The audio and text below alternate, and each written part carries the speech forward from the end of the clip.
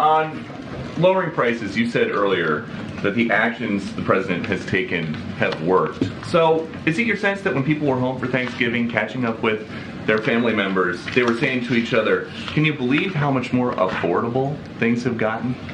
So, honestly, I wouldn't.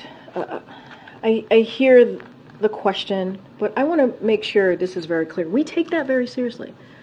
We take what families families the decisions that they make at their kitchen table whether it's at whether it's during thanksgiving or whether it is every month as they're trying to make hard decisions uh, about how they move forward with taking care of their family we take that very seriously. It's not a joke to us.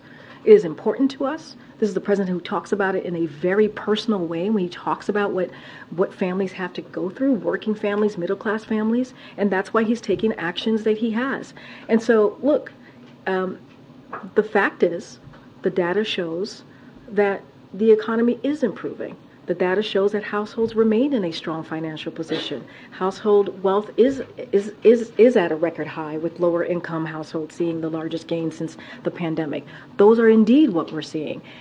But we don't, we don't take lightly, we actually we do not take lightly what Americans and families continue to feel. That's why the president at 2 o'clock is going to talk about what the actions that he's taking to continue to lower costs.